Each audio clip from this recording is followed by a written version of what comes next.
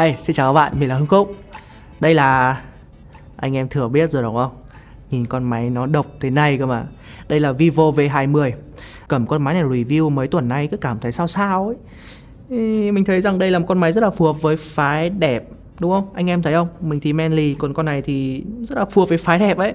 Hay là ngoài ra thì nó cũng có một cái phiên bản màu đen nữa. Nhưng mà tiệu chung thì mình thấy rằng sau 2 tuần trải nghiệm mình thấy con Vivo V20 nó rất là phù hợp với những ai thích cái đẹp thích một cái màn hình đẹp thích một camera selfie chụp ảnh cực kỳ đẹp rồi một cái thiết kế cũng rất là đẹp nữa và những cái thành phần khác xung quanh à, chiếc máy này nữa. Ok, bây giờ thì mình sẽ trải nghiệm chiếc máy này sau vào khoảng 2 tuần trải nghiệm. Anh em xem là liệu nó có đúng là phù hợp cho những người thích cái đẹp hay không nhá. Thiết kế của Vivo V20 nó rất là đặc biệt.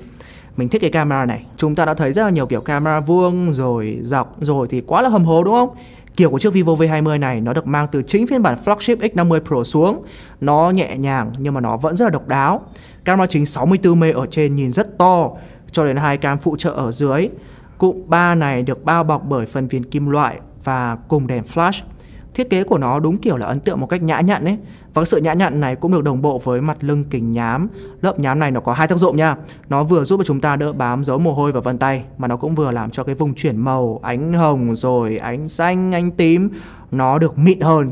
Nhìn nó màu sắc nhưng mà nó lại không quá màu đúng không? Đúng không? Anh em? Nó rất là mịn rồi lại cái viền à, xung quanh nó cong 2,5D Nó hoàn thiện dạng bóng, ánh một chút hồng pha tím. Mình thích chất liệu mết hơn, nhìn nó sẽ cao cấp hơn. Hay là kể ra mà cái phần viền này nó được ăn khớp mượt với cả cái phần mặt trước ấy Thì nhìn tổng thể sản phẩm nó sẽ liền mạch hơn. Ở đây thì cái phần màn hình nó lại hơi hơi nhô lên Chứ nó không liền mạch so với cả cái phần khung viền kim loại bao quanh. Thế nên thì về mặt thị giác Nhìn con này nó không được à, thực sự liền mạch cho lắm. À, nhưng mà bù lại thì Vivo V20 lại là một sản phẩm mỏng nhất trong phân khúc Chỉ là hơn 7mm mà thôi Thế nên thì cảm giác cầm con máy này nó cũng khá là dễ chịu. Rồi, tiếp theo. Mở khóa ra. Chúng ta hãy cùng đến với cả cái phần màn hình luôn đi. Đây cũng chính là một uh, phần gây tranh cãi rất là nhiều đấy.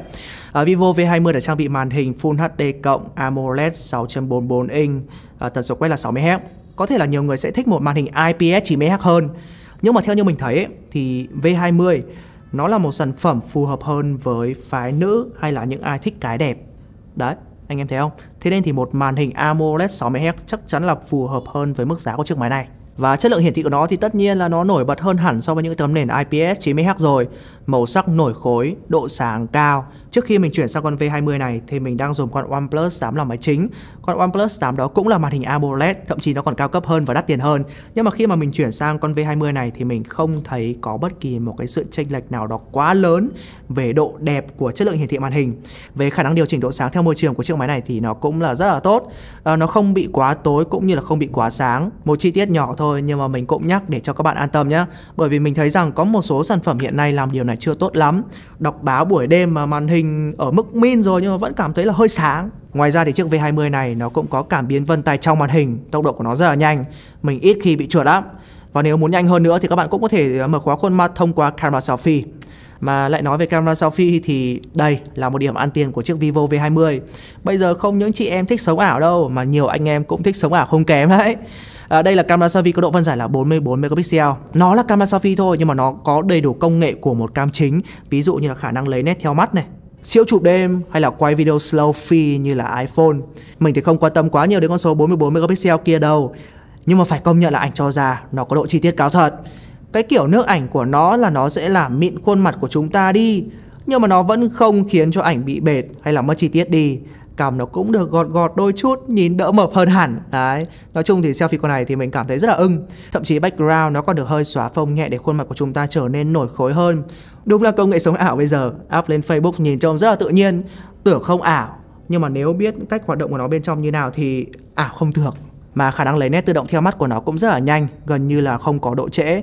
Giờ lên là đã nhận dạng xung quanh vùng mắt rồi. Hay là quay video slow phi cũng là một thứ khá là hay vâng nó hay thôi. Thỉnh thoảng lôi ra nghịch thì cũng ngộ phết nhỉ. Cái này mà ai hay chơi tiktok là chắc là sẽ cần đấy. Thêm một cái hay nữa đó chính là khả năng selfie vào ban đêm. Thậm chí nó còn tốt hơn cả iphone cơ, từ độ chi tiết cho đến độ sáng. Cơ mà mình thấy không cần thiết lắm, bởi vì đã selfie là phải đẹp nhất, đúng không? Tối om như vậy thì đâu ai cần selfie đâu, đúng không? Đẹp thì cũng chả để làm cái gì cả. Nó cũng có một cái chế độ đó chính là bật cả cam trước và cam sau cùng một lúc chắc là nó sẽ phù hợp với anh chị em nào hay livestream. Còn bản thân mình thì mình thấy là nó không hữu dụng lắm. Mà nhắc đến cam sau nhá thì năm nay Vivo V20 được nâng cấp lên thành camera 64 m chất ảnh cho ra ở mức tốt không quá xuất sắc nhưng mà cứ căn đủ sáng là chụp vô tư. Hai cam còn lại ở bên dưới là cam góc rộng và cam macro tích hợp là một ống kính, còn ống kính còn lại là cam đo độ sâu. Mình thấy hơi ngờ ngợ là chế độ macro hay là chế độ góc rộng hai chế độ này lại bị giấu hơi kỹ, phải chọn icon ống kính này, rồi chọn chụp ờ, góc rộng hay là chụp macro thay vì mang hẳn ra bên ngoài. Thì hóa ra, chất ảnh cho ra trải nghiệm thực tế là nó cũng không được tốt cho lắm. Góc rộng thì các bạn cứ phải chụp, phải căng tràn sáng nhá. Chứ còn ánh sáng mà nó hơi dim dim, tối tối đi một chút là đừng có nghịch vào. Và macro thì chưa bao giờ là điểm mạnh của smartphone hiện nay rồi. Ok, về hiệu năng Snapdragon 720G ở đây không phải là một mức hiệu năng mạnh mẽ nhất trong tầm giá, nhưng mà đây chắc chắn là một mức hiệu năng mà mình nghĩ rằng nó đủ đối với những người phù hợp đối với chiếc máy này mình cũng có lôi ra test game thử để xem nó có hiện tượng gì trục trặc hay không. Thì yeah, PUBG nó vẫn lên được 60 FPS thế là ngon rồi đúng không? Đi kèm với 8GB RAM và 128GB bộ nhớ trong. Ờ, à, 8GB RAM đấy! Thoải mái đa nhiệm nhá. Về hệ điều hành thì Vivo V20 được update lên phiên bản Fun OS trên Android 11 mới nhất. Nghe cái tên thôi là đã cảm thấy vui nhộn rồi đúng không? Và thực tế trải nghiệm thì nó cũng vui vẻ phết đấy. Nó không funny theo cái kiểu là cố gắng nhồi nhét rất là nhiều những cái tính năng thừa tại ở bên ngoài vào. Đây anh em xem này cái giao diện của nó gần giống như là giao diện Android gốc luôn. Cơ mà càng dùng nhá, anh em lại càng khám phá ra rất là nhiều những cái trải nghiệm ở bên trong nó hay ho. Phải dùng 2 cho đến 3 ngày mới hết đấy. Ví dụ nhá, ngay ở trong mục notification thôi đã có rất là nhiều cái đề nghịch rồi. Như là cái chế độ màn hình thu nhỏ chẳng hạn này. Đấy, bây giờ thì thoải mái dùng một tay luôn. Hay là cái chế độ S Capture, bấm vào, nó lại có ra thêm 4 chế độ chụp màn hình nữa. Anh em có thể quay video lại này, hay là chụp cả trang màn hình này, hay là tùy chọn góc độ khác nhau hay là chụp màn hình vui, nó sẽ chụp đúng những cái gì mà anh em tô lên trên màn hình. Đấy, hay không? Hay là chỉ cần đơn giản như bình thường thì mình sẽ dùng ba ngón vuốt xuống là đã chụp được màn hình rồi. Rồi nó còn có chế độ siêu trò chơi. Nó có một số thứ để giúp cho anh em tập trung chơi game hơn, tha hồ nghịch. Hay là anh em vào phần hiệu ứng động trong cài đặt nhá. Ở đây thì tha hồ các hiệu ứng để cho anh em có thể tùy biến theo sở thích luôn. Nói chung thì anh em cứ từ từ mà nghịch. Mình thấy cái kiểu của Fantouch OS ấy, Nó rất là giống cái kiểu của OCN OS Ở bên ngoài thì nó rất là giống Android gần thuần nó chả có gì cả. Nhưng mà ở bên trong thì nó lại có vô và những cái thứ để cho các bạn có thể nghịch ngợm với nó. Đúng là kiểu Fun Touch OS à đây, còn cái hình nền của nó nữa này. Nó cũng thay đổi biến ảo một chút chút khi chúng ta tương tác với cả cái phần màn hình. Cơ mà do đây là một sản phẩm tầm trung, lại chỉ được trang bị con chip Snapdragon 720G thôi. Thế nên thì thỉnh thoảng mình thấy rằng trong quá trình trải nghiệm, Mình thấy rằng cái con Vivo V20 này nó vẫn sẽ hơi hơi bị giật nhẹ. Nó không có được độ mượt mà ở mức tối đa. Thỉnh thoảng thôi, nó khựng một phát, rất thỉnh thoảng thôi hay là các hiệu ứng animation nó cũng giống Android gốc thôi nhưng mà mình thấy rằng nó vẫn không có được uh, sự mượt mà tuyệt đối. Uh, đấy là anh em phải để ý kỹ cơ chứ còn dùng bình thường thì anh em cảm thấy rất là bình thường thôi. Một điểm nữa mà mình không thích về mặt trải nghiệm đó chính là cái phản hồi rung cái phản hồi rung của chiếc máy này thì nó rung một chỗ thôi nhưng mà từ cái chỗ đấy nó sẽ lan ra cảm giác như là nó rung cả con máy lên ấy. Uh, cũng không thể đòi hỏi gì nhiều ở một con máy uh, tầm trung như thế này. Giá thì nó cũng chưa có mọt ở chính thức đâu.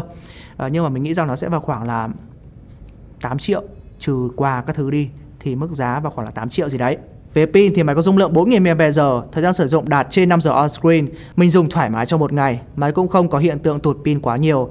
Mình để cả Always on display mà chỉ có tụt 2% khi để qua đêm mà thôi. Nó cũng có sạc nhanh 33W, đầy pin mất vào khoảng là hơn một tiếng. Ok, Vivo V20, một con máy đúng chuẩn cho phái đẹp hay là những ai thích cái đẹp.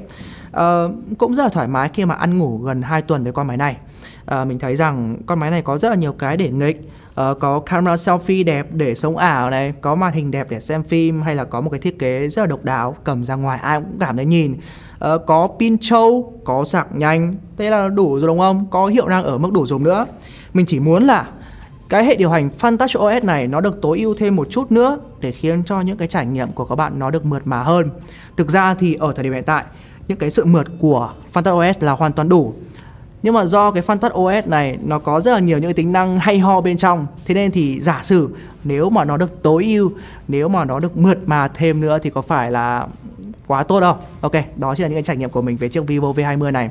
À, Anh em nghĩ sao về chiếc máy này thì hãy cùng comment phía bên dưới nhá. À, Vivo thì công nhận là bán máy ở Việt Nam hơi khó bởi rất là nhiều những lý do khác nhau.